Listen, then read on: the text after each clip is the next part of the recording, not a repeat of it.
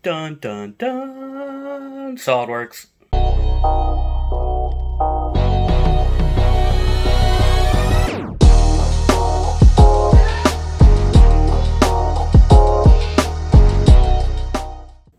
Welcome Simple Rudd.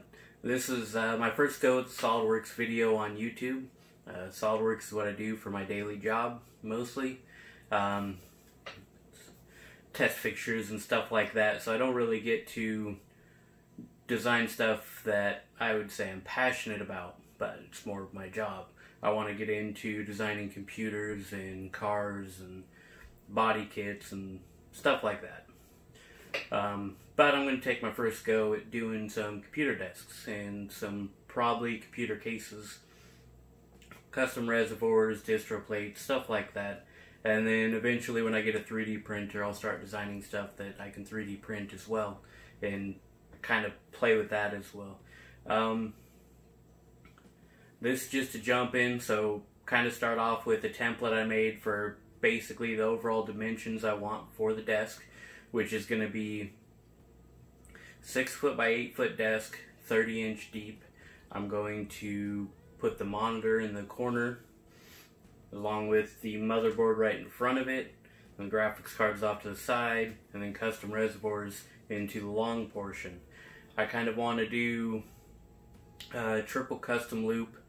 I might put in a secondary computer for storage. We'll see. I do want to make um, hot swappable hard drives set up in there so that when I'm editing or stuff like that, I can put my stuff onto hard drives. When they fill up, you just pop it and swap it. Um, so yeah, that's kind of a really quick rundown of it. So let's get into the SolidWorks.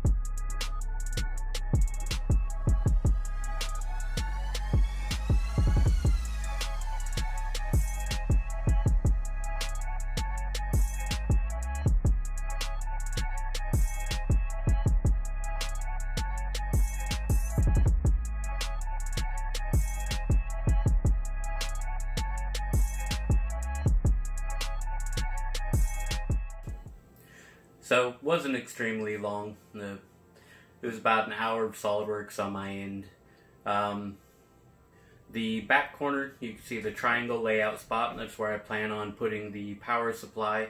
And I'm hoping to hide all of my excess wires in there, along with making a sheet metal corner for interface. That way my HDMIs, uh, USBs, all of that hook up right there in the corner, kind of back away from everything, but still easily accessible. Um, I'm still contemplating how and where I want to do the GPUs. Um, one thing I do plan on using is uh, 560 rads, which will use either 4 or 8 140 millimeter fans. Um, the more fans and the more cooling, I'm hoping that I can keep the RPMs on those low and not have a roaring desk. I want something that's nice, quiet, cool, so that when I start really ramping up the work usage, it doesn't sound like a jet taking off. Um, one thing I do plan on using is an eATX, at the very least an ATX motherboard. Um, I want something more like the Threadripper. Um, I still have this, this running the 99 KS. It's not something that I really need to upgrade anytime soon, so this desk is more of something I want to take the time and really have something that stands out when I'm done. Um, we'll get more into the theme and the details and that as it progresses, but I do want something that's a workstation with the capabilities of gaming. So with that, I'll probably go more aimed at like whatever the Titans are. Um, I know the 3000 series NVIDIA is supposed to be coming out soon. Really looking forward to that. Um, should be a good jump. Again, I've got 2080 Ti. Don't know that I need to upgrade now, but eventually I will. Um, I love the look of this computer, but I am pretty much maxed out on its capabilities. There are a couple things I can adjust, and in the future I'll probably um, redo the cables and stuff like that. I'm going to have to drain and uh, switch out the liquid here in a couple months anyways, so I'll probably do some more work on it. But with it being the mini ITX, even though those are getting more popular, they're still not really all that full of capabilities. Now, it does everything I need right now, so I have no reason to upgrade. However, that will change, and when that does change and I am ready, I want this, this desk ready as well. So if you look forward to seeing more SOLIDWORKS videos, more uh, custom computer building, uh, hit like and subscribe below. Thank you.